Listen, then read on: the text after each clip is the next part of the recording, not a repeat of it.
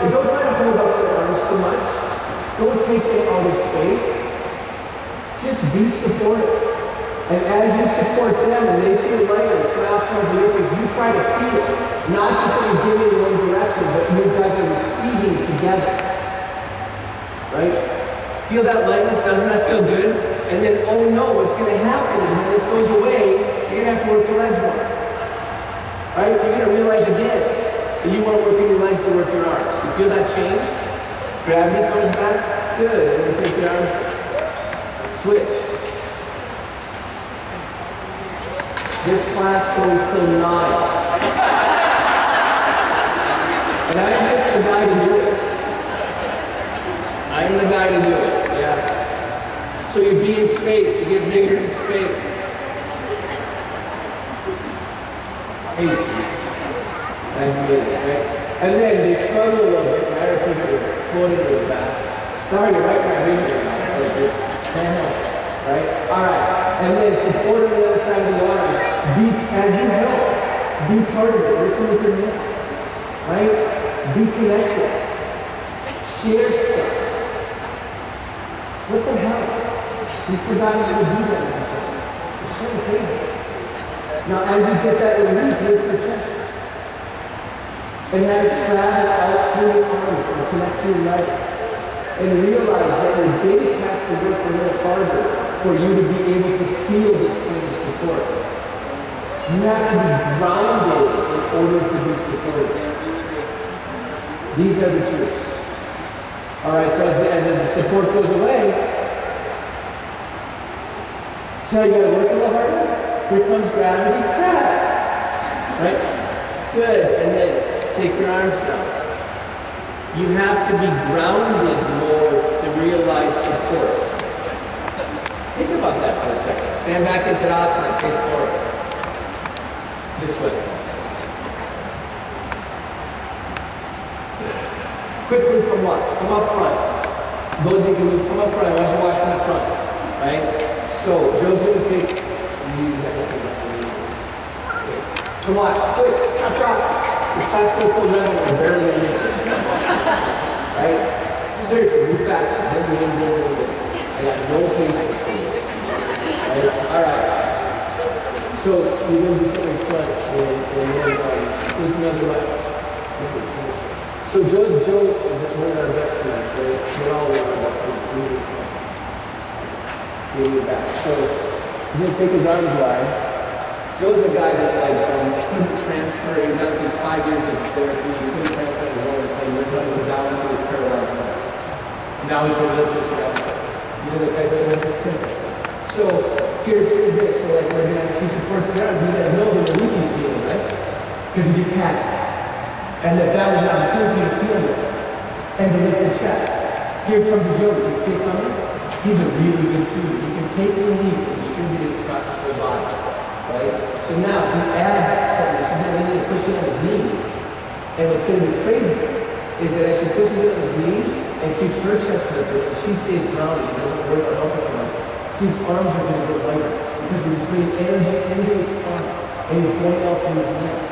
You think he can connect it up to the top of his head right now? You felt the level just now that I'm talking about. Oh my God, this isn't in the medical. We're not helping people recover this part of their expansion. We're not helping elderly people feel how to live through their whole body. This is not just a function of exercise. It's a function of a group. Right? And as this goes, I guarantee you, not up here. And that is down here. He still has to practice the yoga here. There you go. So you see lifting his chest. His pelvis from here down. Back to lifting his chest. And I know his, he lifts his chest, he feels legs. Just like me. And then take your arms back in. Right? So that idea of getting reference here in the spine and go up is a really big thing. So what we're going to do here is partner up again. So Chris, take your arms out. It's been kind of weird of you. Right? Take your arms and legs wide. And you got trust. Take your arms and legs wide. So To kneel down in front. These are both assistants that. She's on faculty, she's an assistant. They're both raw, right? You're to take your hands and put it right here. You're going to be going over there, right? Here, and you're to push in right at that bone part. And you're to push in. You're not going to look out. You're just to push in. See how she can't smile came her face? Right? Because this reference expanded her out through her lips. Just like that reference on his knees expanded him out through his limbs. It's the same. Right? So that's what you're going to do. You're going to kneel down your hands. You notice that don't have somebody's eyes. Right? Keep the fingers open and straight. Don't use your fingers, right? Right? So you just put, and notice she's using the, the heel of her hand and the bony part of her hands to be on the on the on the bones. And, you, and it's going to feel good to take your arms out. And you're going to have energy go through your limbs. And up here, we're going to be doing the same thing with the system. We're going to push on your knees, have your arms wide, and have energy come through the spine and go through the hips. Go do it. Partner up.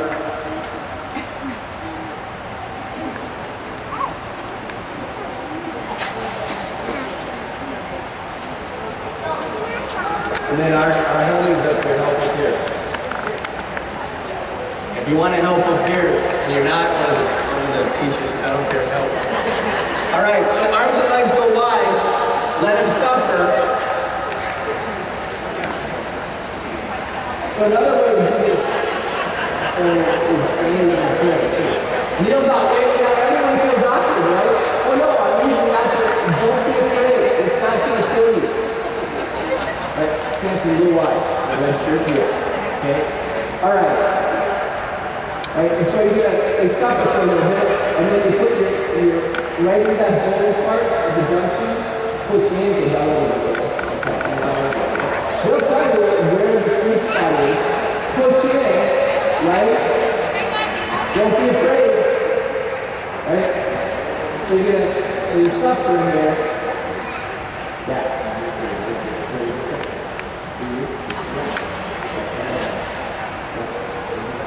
All right, and feel that lightness. Now you maybe only feel when it goes away. So some of you, hold on a second. Watch for a second. I'm gonna drop your arms for a second. And I'm gonna, you were doing it right. I'm gonna make you do it right. Some of you were adjusting the people, right? Take your legs away. You were doing it with your fingers. Get the bony part of you, your hand, into the bony part of them, not the fingers. Okay? All right, try it again. Take your arms wide. Turns out that life force travels more through the bones than through the um, muscles. Right? So you let to suffer a little bit. Let them suffer. Right? Squeeze in. And notice how your arms get light. How it feels good.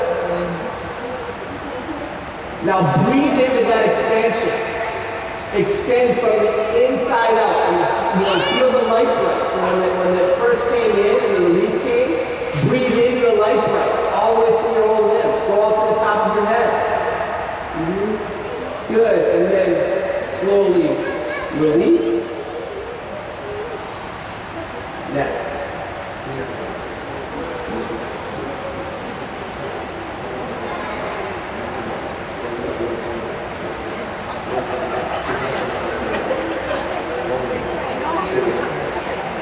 All right, switch. Other person's turn.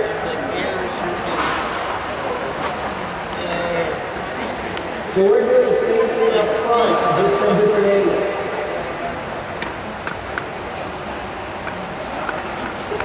Take stance wide you let the very path you're. Right? All right. So you push in.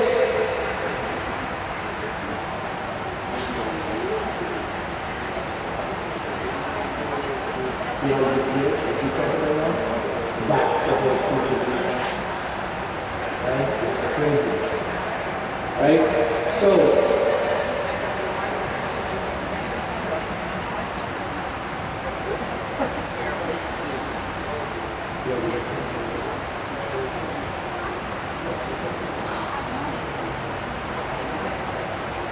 Breathe into the expansion.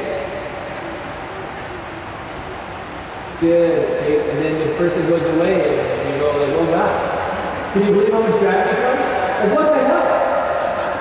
How can there be more gravity? There is. Right? Good. And then release.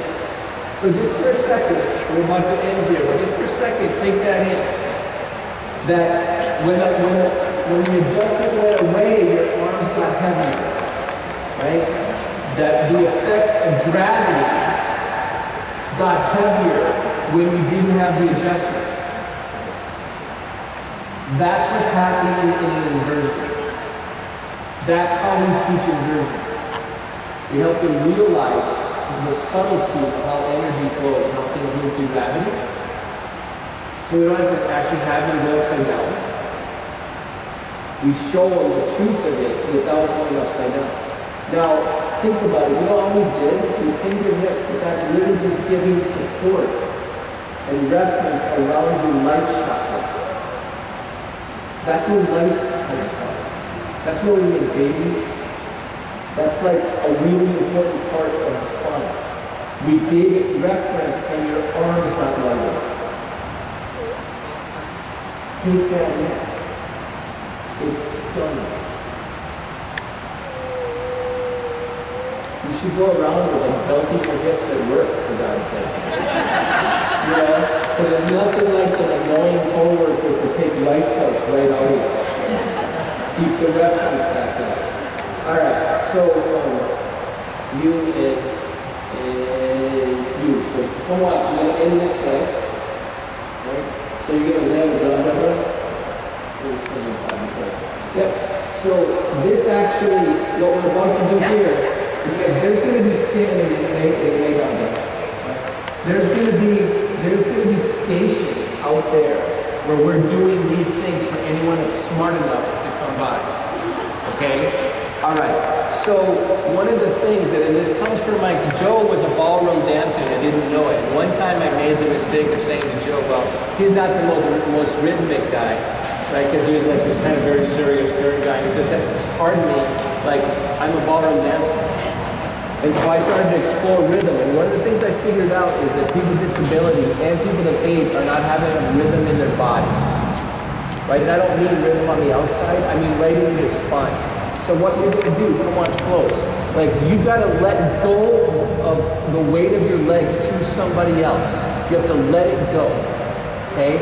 And then Pat's going to stand up, stand up, and you're going to go to where you start to feel resistance. And then you're just going to start to rock back and forth. Because I want rhythm to go directly into your spine. I want rhythm. We do this at Curve Center. I want rhythm to go directly into the spines of the people we're serving. How about your mom or your grandparents? Are they getting anyone making sure they're feeling the sway and the sharedness? This feels great. So she's smiling. You're to love this. Why do you think we rock babies? Why do you think we hold them and swaddle them and then rock them? Because it's fantastic. You turn around and go the other way and pin them this way. Because when you get surrounded and rhythm happens with the mind-body relationship, you feel better. These are the simple insights you should be taking home to your. And they all come out of that class with them. Because we had to innovate and explore and figure out how to communicate and translate from yoga through their body, through my body. So do this. This feels great. If I, I might rock scissors paper to see who goes second. And then make sure if you're the second person, be on your own mat.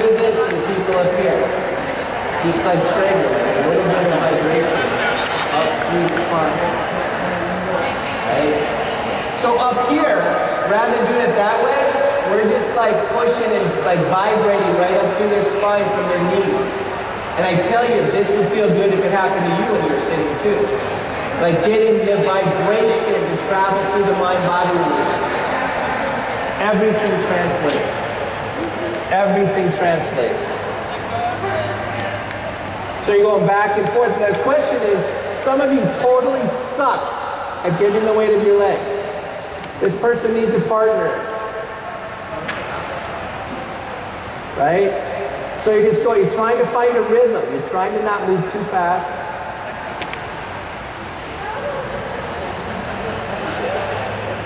See how you feel the difference, right? Agreed, right there. Right? And then come to the center. If you want to turn and face the other way quick, you can try that. Right? Turns out that sometimes facing the other way is easier on the adjuster, right? Which matters.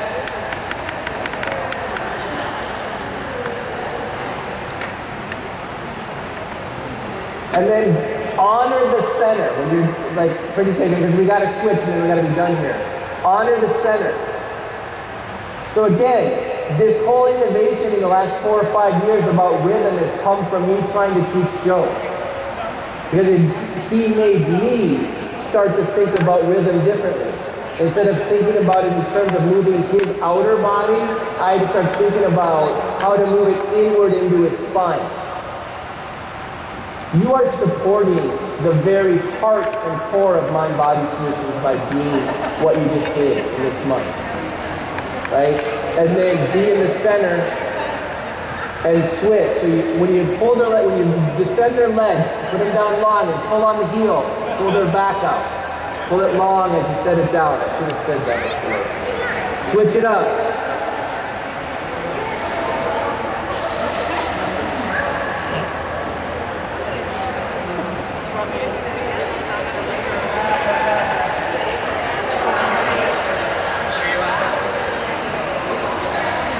So if you stand up and lift your chest, it's going to be better right? Feel that how that's better? Instead of hanging over right? Yeah. It, so, yeah.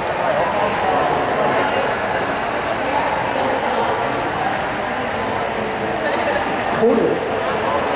He needs that so he doesn't have to worry about working so hard and he puts rhythm back in. Yeah, totally. So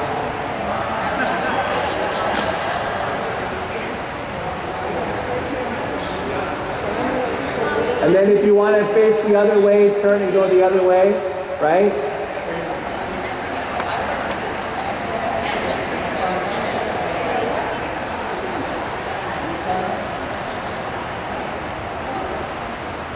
Yeah, so take it up a little higher because she's flexible, then lean into you. Like straight up, yes, yeah. And so you can just go back and forth a little bit, right? And then always honor the center, right? Always.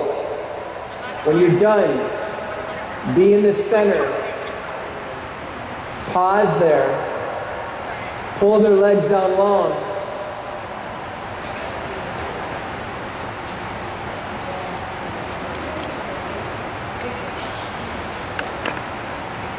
And then everybody, Shavasana. Lay down. You don't have to. That's too much work. Well then, well, well then go. You go sit on the bench instead and do squats on the bench. Yeah. So now you really have to let yourself go. Learning to surrender your weight. Learning, and everybody now, and, and Yoga teachers in the room, you got to learn how to do Shavasana and teach Savasana while you're sitting up to someone sitting. But that's part of our adaptive yoga training that I want all of you to come through, right? All right, so learning to surrender your weight to the floor is a life skill. Trusting the floor. What does trust feel like as a mind-body sensation? Well, I think in Shavasana you're exploring it.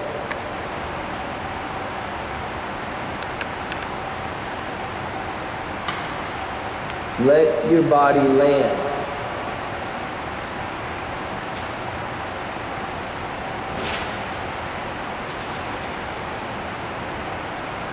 turns out that as your back body sinks into the floor, maybe as you really surrender, you start to feel a slight feeling of levitation. But it's not off the floor. It's between your front and your back. In you, it's getting lighter because you're letting go. Don't be afraid of that. Let, put your mind, feel into your ankles, your knees, your hips, your shoulders, your elbows, your wrists. There's quiet in the center of your joints. Let it sigh. Let it land.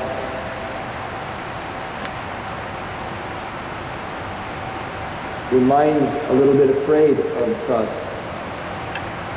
It has to let go. So soften the skin on your face, around your temples. Relax your jaw, the inside of your mouth. Re-allow the body to hum. There's a hum.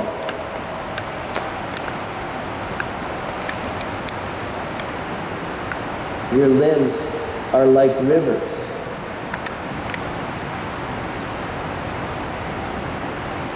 Let it flow.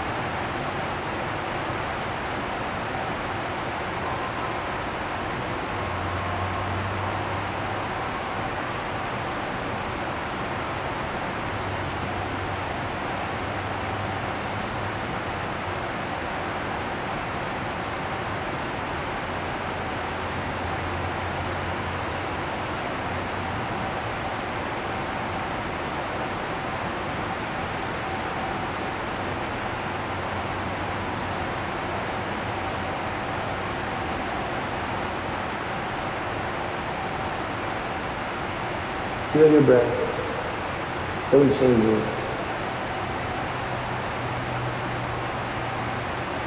Thank your body.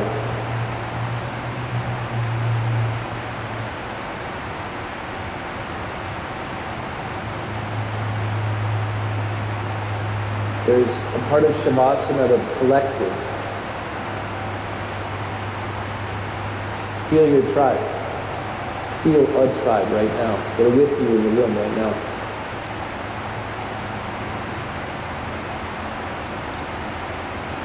People in this room care.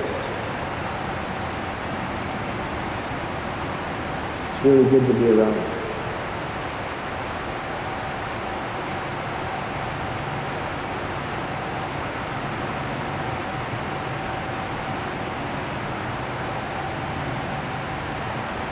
Start to bring yourself back. Slightly deeper inhalation, slightly longer exhalation.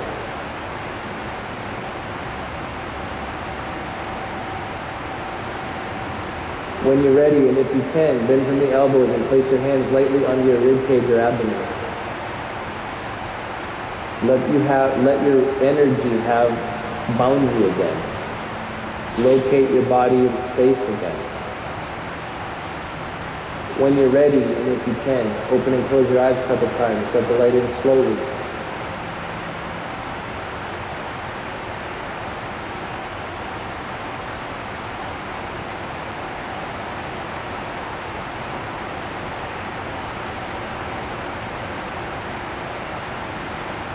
If you can, bring your hands in front of you in the prayer.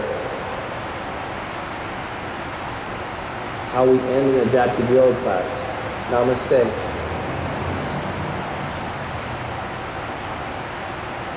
When you're ready, you can, bend the left leg, push off, roll over to your right side. Put your right arm under the right ear. Make this a pose.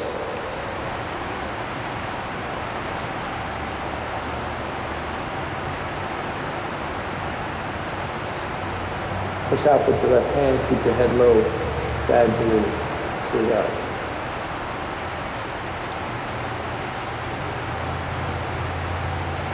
So this class was taught a little bit more at you than up here.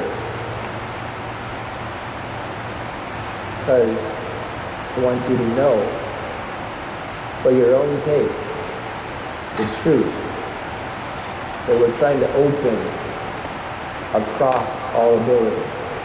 Because we all need it. We all need it. Let's go eat and stuff.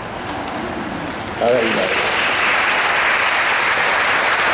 So I think as you walk out, you're supposed to grab a glass, right? Am I right about that?